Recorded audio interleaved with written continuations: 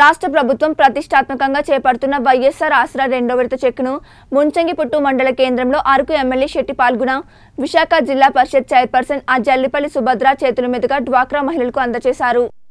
ముందుగా అరకు ఎమ్మెల్యే శెట్టి పాల్గొని ZP chairperson Jallipili Subhadra జ్యోతి ప్రజ్వలన చేసి సభను ప్రారంభించారు. అనంతరం సభను ఉద్దేశించి మాట్లాడుతూ రాష్ట్ర ప్రభుత్వం మహిళలకు ఎంతో పెద్దపీట వేస్తుందని ఈ పథకం వల్ల మహిళా సాధికారత మరింత మెరుగుపడి గ్రామీణ మరియు పట్టణ ప్రాంతంలో స్వయం సహాయక సంఘాలలోని పేద మహిళల యొక్క ఆర్థిక పురోగతి దోహదపడుతుందని రాష్ట్ర ప్రభుత్వం తీసుకునే ఈ నిర్ణయం ద్వారా మనం ఆర్థికంగా అభివృద్ధి చెంది మన కుటుంబాలు ఆనందంగా ఉండాలనే ఉద్దేశంతో గౌరవ ముఖ్యమంత్రి ఈ పథకాన్ని తీసుకురావడం జరిగిందని అన్నారు. అనంతరం రాష్ట్ర ముఖ్యమంత్రి జగన్మోహన్ రెడ్డి చిత్రపటానికి పాలాభిషేకం చేసి అరవై నాలుగు లక్షల ముప్పై ఆరు వేల మూడు వందల డెబ్బై ఒక్క రూపాయల చెక్కును డ్వాక్రా మహిళలకు అందజేశారు. ఈ కార్యక్రమంలో ఇరవై మూడు పంచాయతీల డ్వాక్రా మహిళలు సర్పంచ్లు ఎంపీటీసీలు మండల వైసీపీ శ్రేణులు ప్రజలు పెద్ద ఎత్తున పాల్గొన్నారు.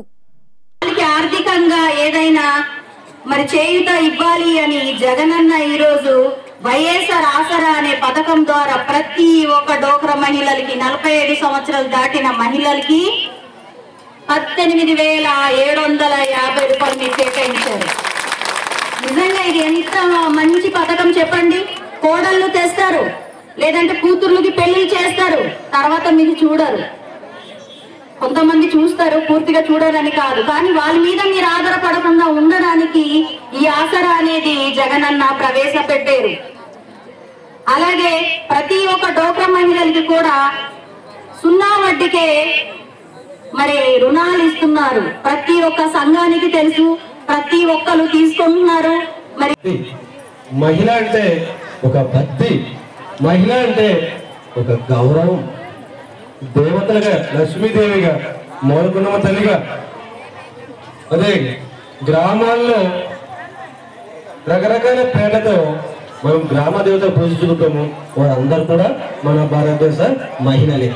జగన్మోహన్ గారు పా గారు జీవించిన కాలం మహిళలకు పెద్దపీట వేసి వారు ఆర్థికంగా అభివృద్ధి చెందాలి అన్ని రంగాల్లో రాణించాలి రాజకీయంలో రాణించాలి ఆర్థికంగా రాణించాలి ఉద్యోగాలు రాణించాలి. అన్ని రంగాల్లో మహిళలు ముందున్నారని చెప్పేసి ఈ రోజు ఒక గిఫ్ట్గా మన ఆసర్ కార్యక్రమము ఈ రోజు చేపట్టు చేపట్టాము అలాంటి దేవతలు ఈ రోజు మన ముంచెంపుట్లో ఉన్నారు. నిజంగా ముంచెంపుట్ అంటే మూలవన మండలం.